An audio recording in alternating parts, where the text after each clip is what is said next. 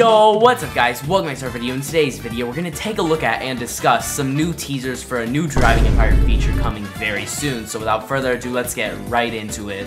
Alright, now if you haven't seen yet, yesterday Driving Empire sent out a teaser showing a car meets feature. Now this is to be the first car game on Roblox with car meets that are like able to be hosted and stuff. I don't know how to explain it, but like yes, you can have a car meet in every car game, but this is like the first game on Roblox with a feature for it, so very exciting now. I'm gonna go ahead and showcase some more than this, just this uh, photo, so stick around to the end to see that.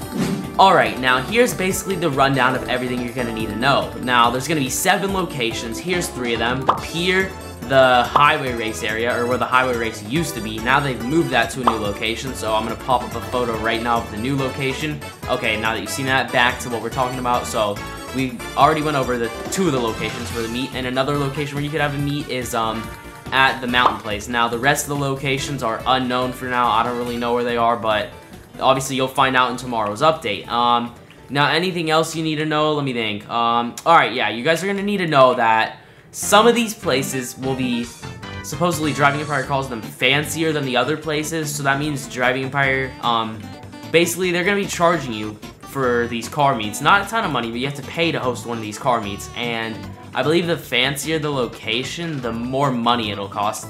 I think I said everything correct. I hope I did.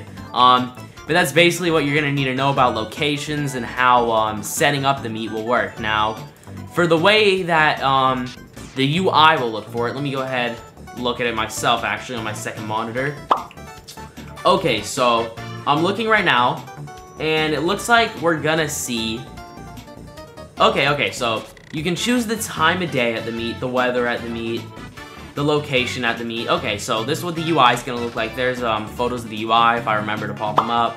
Um, looks like that's what it'll that's what it'll look like when you're um uh, how do I say this? That's what it's gonna look like when you're purchasing a meet. Okay, because you have to pay for it. Um, Alright, this photo right here. Um, the best way I could describe this is like, I'm not, I'm not gonna read word for word what they told me, but basically this telephone booth is where you can invite friends that aren't in the game right now to join the game and then get teleported to your car meet. Um, also, you can kick and remove people from the car meet that you don't like. Let's say there's someone being annoying they keep parking inside of other people's cars. They have an ugly car. Maybe you just don't want them to be there and you want it to be an exclusive meet for only a few people. Then you can kick them from your meet. Um, so yeah, that's that's how these car meets are gonna work. That's basically all the info I know right now. So I hope you guys um, find that useful. I was able to tell you everything about it. Now, obviously, this is a very unique feature coming to the game that not really many other games have had, so I don't know how buggy it'll be, but Hopefully, it turns out alright. Um, but yeah, drop a like if you enjoyed this video. Make sure to subscribe, ring that notification bell so you never miss another upload, and I'll see you on the next one. Peace.